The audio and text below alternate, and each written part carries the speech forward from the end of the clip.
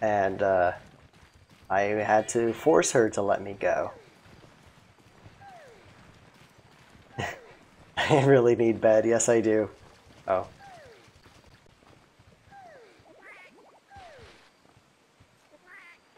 Wait, I need to go to six.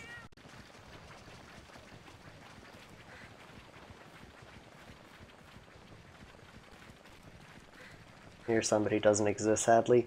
They do exist, you just need to find them. How? I have no clue.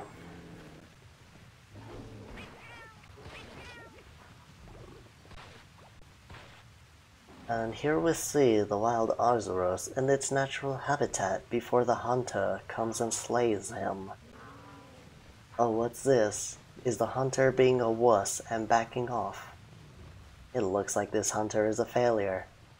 Let's move on to the next one.